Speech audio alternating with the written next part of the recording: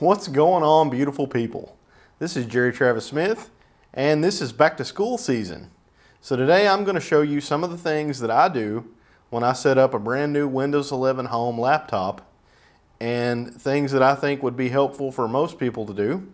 Now this video is not intended for super advanced users. There are so many ways to optimize Windows 11 beyond what I'm going to show you, but those methods generally are like a cat and mouse game.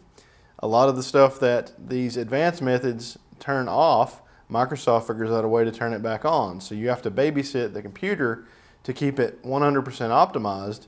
But what I'm going to show you today is more general stuff that your average PC user who's not a power user, and that's fine, computers do not have to belong just to the realm of power users, but I'm going to show you some things that the average person needs to do when they set up a Windows 11 laptop. To do so, I have a Lenovo Legion 7 laptop, and I, will be honest with you, I've been using this laptop for a month or so, but I thought, hey, I'm going to reset it and record a video going back through the process of how to get this thing free of all the junk that companies like Lenovo tend to put on their machines I'll show you a few other tweaks as well that I do so that your laptop will be ready for taking notes and getting stuff done when you go back to school. All right, so we've got it turned on and this is the first thing you'll see inside of Windows 11. So it'll ask you where your country is.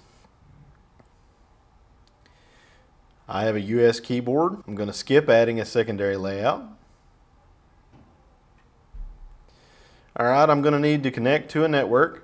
So I'm going to use this student guest because I'm actually at our borrowed campus because remember our main building got destroyed in the flood a couple years ago. I'll go ahead and connect. I'm not sure what kind of updates this installs because this absolutely is not a full set of updates. It's just not because it always goes a lot faster. Maybe it's setup file updates that it downloads. But you got to sit here for a while and let it do this.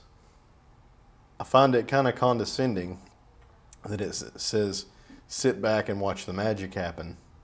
This is not magical, but at least they're trying to make the computer more friendly for folks, I guess.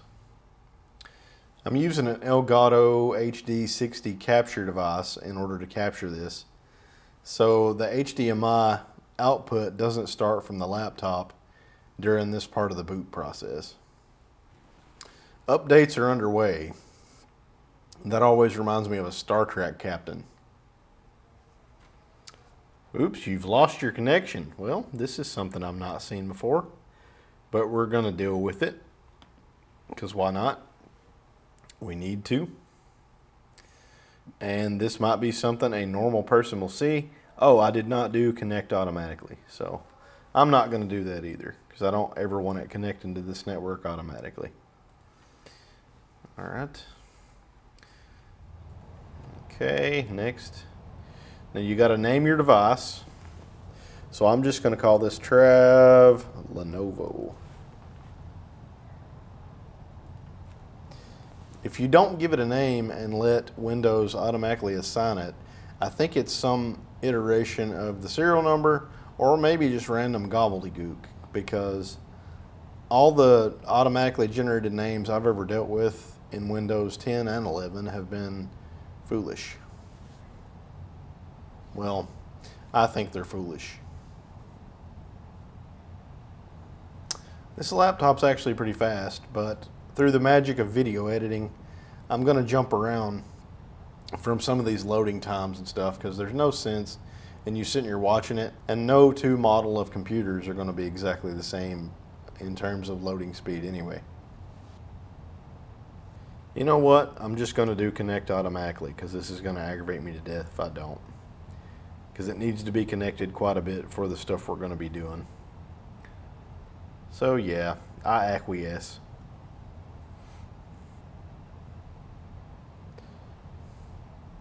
This is Editor Trav here, and I realized at this point that I glossed over what this was asking you to do. This is wanting you to sign into a Microsoft account. If you don't have one, you can create one for free, and I recommend doing that so that you have control over it if you don't already have a Microsoft account. A lot of times, your university or school will give you credentials that you can log in to Microsoft with, but I recommend not setting up a new laptop that you own that way because if you graduate or drop out of school or whatever, you're going to lose access to that account.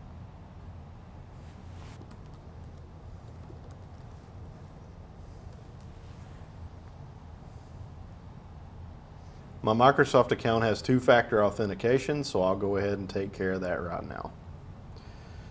That's a topic for another video. I do not want to restore this from a backup. We're going to set it up as a new machine.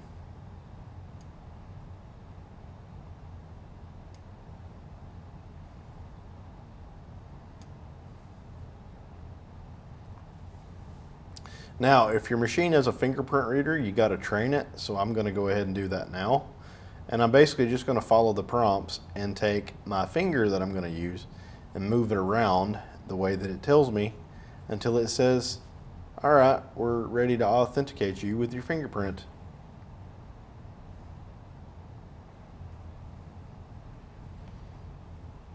Ooh. I get a kick out of this. It's so silly. It does seem to work. I've had people try to get in with a fingerprint reader and it, it won't let them in, but it lets me in.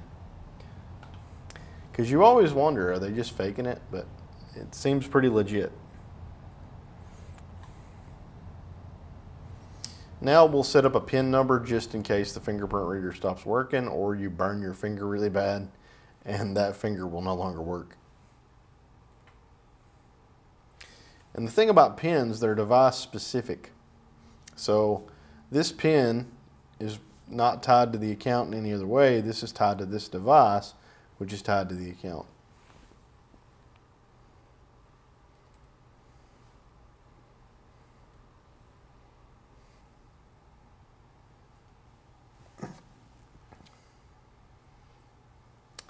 Now, this is a point of contention. Some people will say, go ahead and leave all this on. But if it's me, I turn this stuff off. Except find my device because I think that's kind of helpful sometimes. Now, that does open up a privacy vector, but hey, it is what it is. And you're not actually turning off the diagnostic data here. You have to do some of those power tweaks that I was talking about earlier. But we're going to turn it off except for required only. Inking and typing, no. Turn that off. Advertising ID, no. So the only thing I'm leaving on is find my device. Some people may not want that if you don't turn it off. But for me personally, it's pretty useful um, for finding a device. All right, so this is Lenovo's little part of this. So you just got to put in um, who the device belongs to. Um, for warranty purposes, I recommend that if your device manufacturer has an option like this, add this device to my, in this case, Lenovo ID profile. Seems like Dell does this too. I don't know about HP. It's been a while since I've set up one of their machines. But um, I don't mind the marketing emails because honestly, you get some pretty good coupons sometimes. I do not want McAfee having my address, and um, I do not want the anonymous um, data collection by Lenovo. Whether or not these companies abide by this the average person, and in this case myself included, really has no idea if they're honoring that or not. But I'm going to turn it off. These settings here, from what I can tell, prioritizes the stuff that's shown in your start menu early on and some of the stuff they try to upsell you and external programs they try to sell you, it changes what shows up. Me personally, I have skipped this the last few machines that I've set up and been asked this because I would rather it figure out what I want based on what I start installing. But uh, who knows what Microsoft will really do with this, but hey, let's just skip it. Don't need this. It'd be nice, but it's it's not good.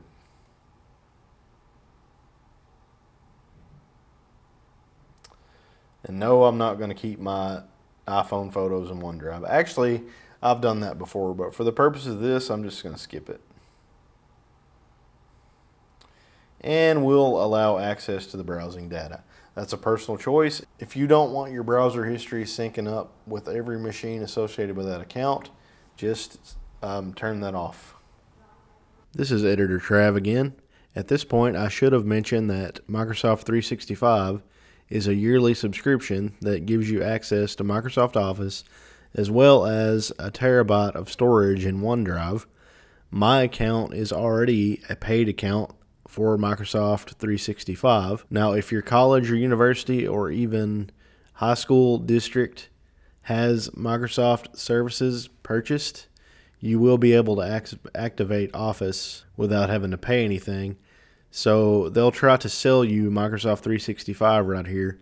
Make sure you don't have access to it some other way before you pay. I have Microsoft 365. Some people in the comments will have an issue with that, but I've used Microsoft products for a long time. I teach Microsoft products. I support people who use Microsoft products. So if I don't use them, I can't stay current with what's going on. So it's just telling me that I do have um, Microsoft 365. I do not want Game Pass. This is something you will have to do a power uninstall later to get rid of. So they don't make it easy to make that go away. I may do another follow-up video with some more power tweaks to get rid of more stuff. But we're just going to roll with it. Now the computer starts talking to you, and I know why they anthropomorphize machines because it makes people feel better about them. Given the fact that Windows still requires a lot of hand holding and occasionally messes up, they need to quit this because all it does is make people more angry. If you treat them like a machine that doesn't know any better because it's just responding to what it was programmed to do, you get less mad than if you think it has a personality and whatnot. I have no idea why the recording of the screen going through that Elgato capture is rolled down as it is, unless I accidentally hit something on the computer mouse and did that. But I don't think I did. I think this is uh, some kind of bug with the HDMI output. Okay, I think it was either a bug in Lenovo's HDMI implementation or a bug in OBS. Regardless, I stopped the recording restarted OBS, and we're back at it again, and everything looks fine. Ah, the joys of catching bugs on recording. We're in, and the first thing I'm going to do is go through and get rid of McAfee. Oh my God. Okay, so the reason that McAfee and Norton and some other crappy security software is installed with Windows by Lenovo and Dell and HP is they actually get money from those companies to include that software in a fresh install on a new machine. So they're just trying to make the shareholders happy. So we're going to remove McAfee right now and um, I use the search box on the start menu a lot and I'm going to type add remove or just add remove is good enough until we see add remove programs. Now, depending on your particular machine, there may be more garbage that you need to get rid of. Um, I, there's no way for me to know what's on your particular machine. Even the same model can get a different image over time if it's a model that's around for a year or two. But we know we don't want McAfee. And I could search McAfee, or I'll just roll down until I see the foul beast. Ugh. So uninstall that. Uninstall. Yes. Remove. You don't need this protection. Yeah, I have an act active subscription. No, no thanks. There may be other antiviruses, but uh, McAfee and Norton are the two that I am most familiar with, and I always end up removing from people's machines. There's a decent antivirus built right into Windows, and you just don't need a third party one if you follow your P's and Q's. Now, there are some antivirus programs that are a little better and um, protect people that go to sites that they don't need to go to and that pirate programs. But if you're not a pirate, then I've not really seen that, that any of it's a problem. So we're just going to restart now. Now, I didn't really need to restart. When this finishes rebooting, we're going to go back to add and remove one more time and see if there's any more stuff we don't need.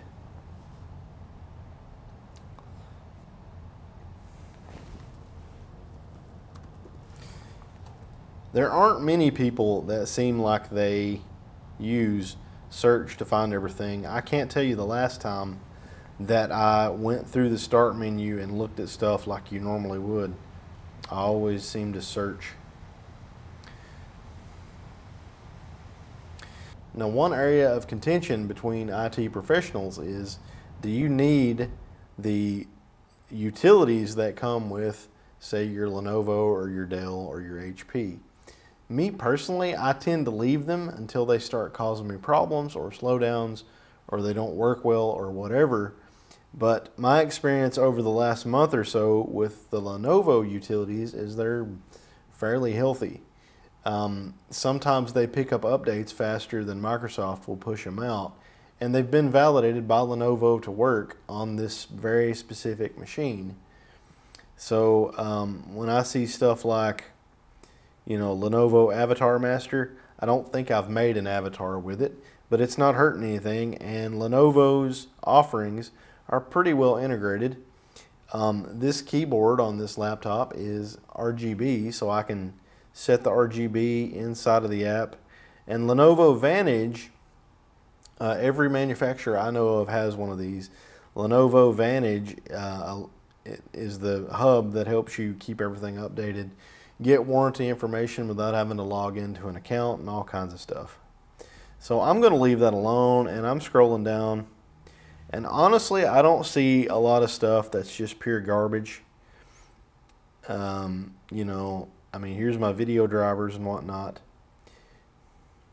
You can see some of this stuff's probably a little outdated. So we're going to take care of this in the next step. But anything you see that you don't want or that becomes a problem, this is where you go to get rid of it. Add, remove programs. Apparently, if I go to settings and apps and then installed apps, that's where that lives. So, but I never get to it with a bunch of clicks. I just search right here or on the um, start menu. Matter of fact, I'm going to turn off the search box because I don't use it. I just click the start menu, then start typing. So let's see, I think I right click and go to taskbar settings right here on the taskbar. And I'm going to hide the search box. I have no idea why it's all in that little menu. I guess I do because there's more than two options.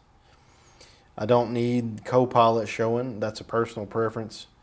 And these widgets down here, um, when you mouse over, they get in the way. I can't remember if you can currently turn that off or not, but I never use the widgets, so I'm just going to get rid of it. Task view is helpful sometimes. That's this little doohickey down here. If you got a bunch of stuff open, ooh, I got a pop-up. This X-Rite Assistant is because this display is HDR and my capture device, the Elgato, is not playing nice with it, or X-Rite can't deal with it when HDMI is uh, is being output or something. So I'm just going to click OK. But Task View is a quick way to show um, everything that's open like in a nice format, and then you can have virtual desktops. I'm not going to talk about that. Most people never ever use it. All right, so there we go. Um, that's another thing I would do is turn off that search box just because I don't use it. Let's close that. Now I'm going to click start again and I could have just stayed in settings and done this as well. And I'm going to type update. So check for updates and this is the official Microsoft updater. And check for updates. Again, I have no idea what you're going to find. So what you find here may be entirely different than myself. I have quite a few um, things that need updated, so I'm going to let this stuff update and we'll be back. Now, some people would say, well, why don't you just let Windows update itself when it thinks you're not busy or whatever? That's a good point, but my goal here is to have this thing ready to rock and roll if you're taking it to class or using it at school. And historically, Windows has been terrible at figuring out when you're using your machine. It's always said that they look to see when you're least busy or you're not doing anything. But I swear to you, my machine to this day, sometimes they'll pester me when I'm right in the middle of things. And I've been using the mouse and keyboard and everything else, and it'll pop up and say, uh, Windows needs to update now. Is that you know, and it'll update in 30 minutes if you. And I'm like, you know, it's 2024. Let's stop this, please. I mean, you, you've been software engineering for quite some time. You don't need to, to do this to people. Okay, so Windows is actually still installing updates. So I'm going to go ahead and hit this. And um, I'm going to go ahead and run Lenovo Advantage. I can't remember what Dell calls their utility, and HP I'm sure has something. So it's going to pull this up, and you know, I don't need the widget. Um, I don't need the web support experience, and I have agreed to their policies. I like this. This is this is pretty nice. It allows you to control your fans and whatever. And depending on your machine, you're going to have different stuff, and depending on the manufacturer, it'll be different stuff. But um, they usually have some kind of diagnostic thing in case you have to call tech support. You know, it, they have um, faculties to run a scan, and then the tech support asks you for numbers and things that it says. But system update is usually in here. And like I said, sometimes stuff shows up that Microsoft hasn't necessarily um, pushed out yet. Okay, there's no additional updates that Lenovo has pushed, so I'm not going to belabor this much anymore because this is very device specific. But I recommend that you just keep your manufacturer's utilities on, go in and run their update routine that is there. All right. Um, also, um, Edge is fine and it's all integrated with your Microsoft account. But one of my first things I do, just so I don't have to fight with a search engine inside the browser, is go ahead and get Chrome. Just install Chrome. And it's funny that Google has sponsored content for their own selves, but I'll go ahead and do that.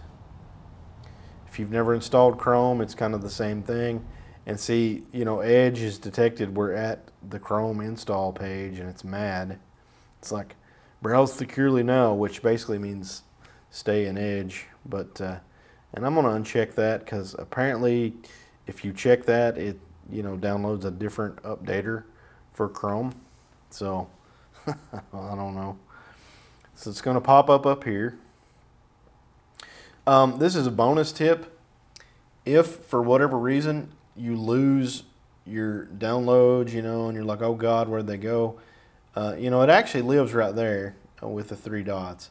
But I always remember all the browsers are like this. If you do Control J, it brings up your downloads so that you won't lose them. I like keyboard shortcuts, and I hope you do too. yeah. So we're going to download Chrome. I recommend, you know, if you're really into the Google ecosystem, go ahead and log into that. I'm not going to show you all that because I think I think most people that would be doing this, once you get it installed, it's easy enough for you to go ahead and log in and all that.